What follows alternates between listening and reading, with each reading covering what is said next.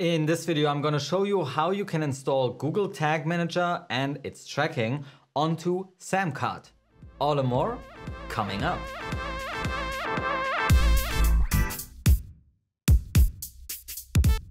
Hey there Measure Geeks, Julian here, back with another video for you. Today we want to talk about the checkout system SAMcart and how you can install Google Tag Manager and tracking like Google Analytics, enhanced e-commerce tracking, Facebook Pixel or Google Ads conversion tracking onto your checkout pages. Now SAMcart is a bit like a checkout builder. It's very easy to build checkouts and a lot of people use it for their payment gateways. So once they have marketed a product, then they want to sell it. And that's the easiest way to do it for some kinds of products. And therefore SAMcart is a quite popular checkout system nowadays. And for anybody who is doing data driven marketing, you obviously want to also track your conversions and get more insights on how your users are using the checkout. But this whole checkout builder system comes with a little bit of a downside because we don't get full access to the actual website. We can't mess around in all the codes. So we need to utilize the form fields that they give us in the backend and fill out our fields correctly so we can be doing conversion tracking correctly. Luckily, SAMcart is quite good at giving us some fields that we can fill out, but it was always a little bit of a problem doing this with Google Tag Manager. So today I want to show you a definitive guide on how you can install Google Tag Manager onto a SAMcart page. So you have full enhanced e-commerce tracking, you will have the ability to deploy a Facebook pixel and Google Ads as well. So we got lots to cover. Let's dive in. To get started, we want to install our Google Tag Manager codes onto our SAMcart pages. So we head over to Google Tag Manager. If you have already an account set up, you should be able to find your container snippets by clicking on the container ID up here and we get the codes that we need to install in the head and the body. Within SAMcart, we can do this by going into our profile section here and under settings, we have two fields that are the embed HTML script in header and then one in footer. And this is where we're going to place our script because it will be installed on all the pages of our SAMcart installation.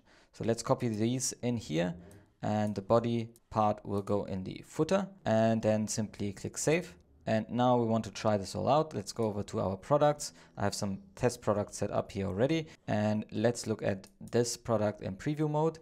We see here Google Tag Manager is already loading in the preview and debug mode because I'm here already in the preview mode. If you are not in here, you can click on preview. This will open up this little window and you should see that Google Tag Manager is installed correctly. All right, the next steps are to install our pre-configured container, which I have linked up down below. So go over to Google Tag Manager. In the admin section, you can import your container and just choose the container that I've set up for you already, which is the samcart.json. We'll go with existing workspace. I just have one workspace here and I'm gonna choose to override. If you already have tags in your container, then I'd recommend to choose the merge option and see if there are any conflicts that need to be resolved. We'll go ahead and confirm this and this will install some tags, triggers and variables in your container. And these will take care of the tracking. Now what do they exactly do? You might know in order to fill information into your e-commerce reports within Google Analytics, you will need to have certain data layer information that is transferred over to Google Analytics. So for example, the product that we are viewing at the moment, the price, and so on. This is normally encoded into a data layer. Now SAMcart has an extra advantage here because it actually gives us all the information in a JavaScript object. Just to show you, you don't have to do this yourself. When we go into the developer tools, we can go into the console and simply type in product. And this will give us an object here where all the information that we basically would need is available. We have the ID, for example, we have the price, we have the stock level or even the name of the product. And this is actually also true for the bump product that you can install right here, which also has its own price. Now, since this information is available within JavaScript, we don't actually have to set up a custom data layer, we can just pull it out via Google Tag Manager, which is also based on JavaScript. So I've written a little custom JavaScript variable that produces the right format of the data layer and pulls out the right information right here. Then pushes this all back into our Google Analytics tag, which we have set up right here for our event enhanced e-commerce tracking view. So this is all set up and it simply takes the data from this variable custom JavaScript ecom product view. So we don't have to change anything around in terms of the data layer. Let's uh, have a look how this works. We are here already in the preview and debug mode. I'm going to reload and we see our Google Analytics event EE view already fired. What does that mean? Well, let's open up our developer tools and I have a handy tool which is the GA GTM debugger which gives me this view and I can look into what was sent over to Google Analytics.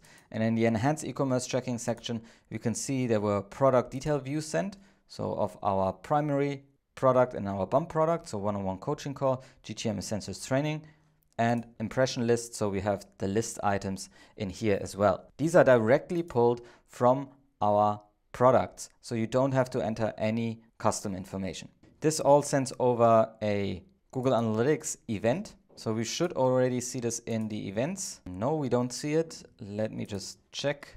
Ah, we probably forgot to change our Google Analytics ID. Down here we have our Google Analytics settings variable, which is a random number right now. We would obviously need to change this to our tracking information so it's sent to the right account. So let's copy that and put that into our tracking ID right here as well change the name, refresh this, and I'm going to reload our page again. It's going to send over the information, hopefully. And then in our real-time reporting, under events, we see a new event has entered.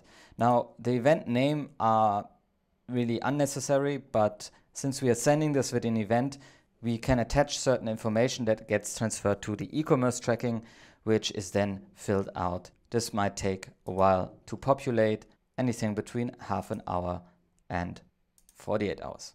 So far, everything went automatically, especially on this checkout page, this first checkout page. But there is a problem because if you're using something called the funnel feature and upsells, then you will need to implement something more onto your page. What does this mean? Well, let's go through here and I have this actually set up for this store as well. I'm gonna buy this product and place the order. I'm actually going to an upsell page. Now this upsell page contains a product and you can choose to add this to your order or say no thanks. You can set this up in your upsell tab here where you can set up the product that you want to sell and also can set up the funnel. I have just a simple funnel with one upsell. The problem though is on this page itself, when we open up the developer tools and type in our product, product, then we see this is not actually available like on the last page. So we can't pull information out of the system. It's not dynamically transferring this over to JavaScript and we would not be able to access it via Google Tag Manager. So we'll need to code that information in ourselves.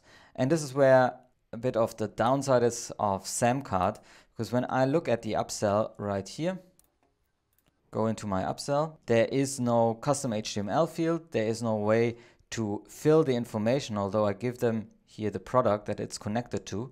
To pull all that information dynamically in, we will need to place some extra code and this is only possible in this upsell HTML window. Now to be honest, this upsell HTML window caused me a lot of grief because it has a very weird behavior when you change something around. We will need to go over to the source panel here and enter some custom JavaScript. What would this JavaScript look like? Well, I'm also gonna give you this code down below. You can post this into all your upsells. This is a little bit of code which we unfortunately need to fill out by ourselves. Now, once you have posted or changed any code around, you cannot simply click on save changes because it will overwrite the changes somehow.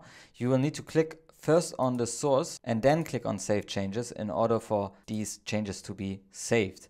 Something that took me a while to figure out. So now we need to alter this code a little bit. And what we need to alter is with these stars here, the product name, the product ID, and the product price. How would you find those? Well, if you go up here to our products, I will open this in a new tab. So we have this available. We'll go over to our advanced integrations course, which has all the information available. We want to have the product name, the ID, which is up here in the URL, and obviously also the price. So let's start out with our ID right here.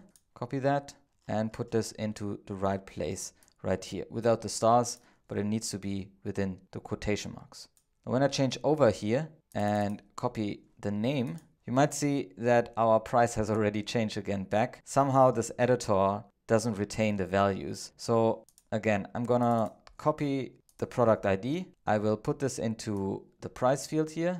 And now I'm gonna go to source, save, go back to source, and let's put in our product name. This time it didn't change it. So product name, again, source, save changes, source.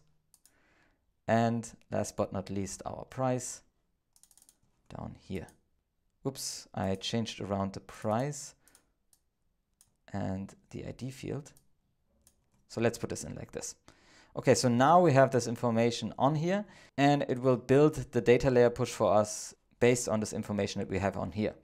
Unfortunately, if you have a lot of these upsell products, you will need to install this information into all the upsells that you see in the upsell section right here. There's no way to pull this out dynamically. Now let's see how this actually behaves. We're going to go back to our upsell, reload this, and we can see our event EE view again fired.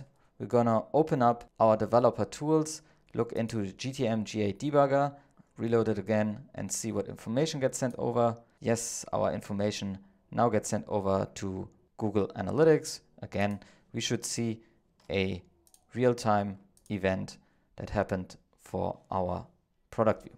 So this gets tracked correctly now. And the last but not least, the page that is most important, if we add this to my order, we get to the thank you page where we have our three products that we have bought.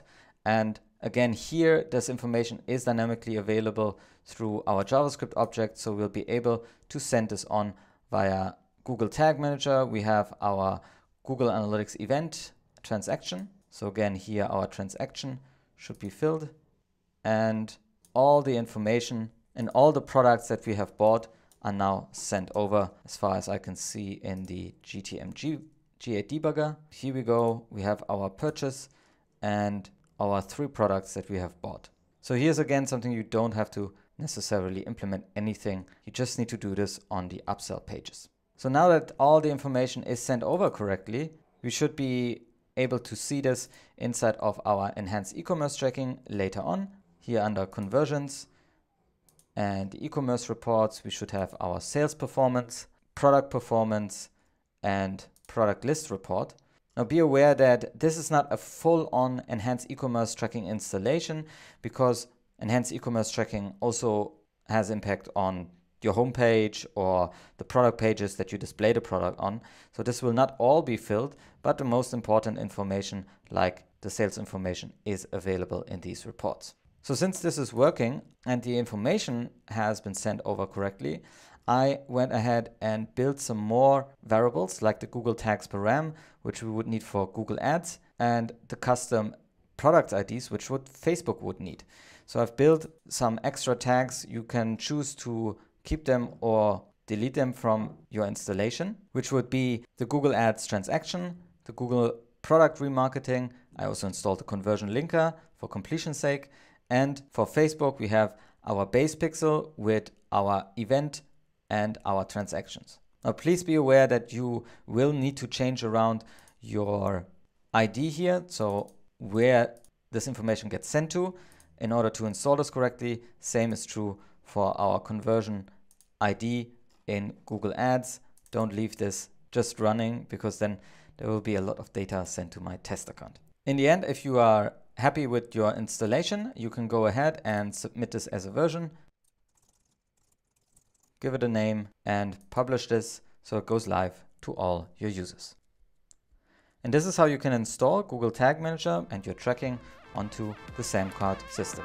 Alright, so there you have it. This is how you can install Google Tag Manager on SAMcart and deploy the tracking like Google Analytics, Facebook ads, and the Google Ads conversion tracking onto your page. As mentioned, all the codes and the container download will be linked up in the description below, so check that out as well. And if you have any questions, please leave them in the comments. Now, if you like this video, then I'd love for you to hit that thumbs up button and also check out our different videos that we have linked up right here.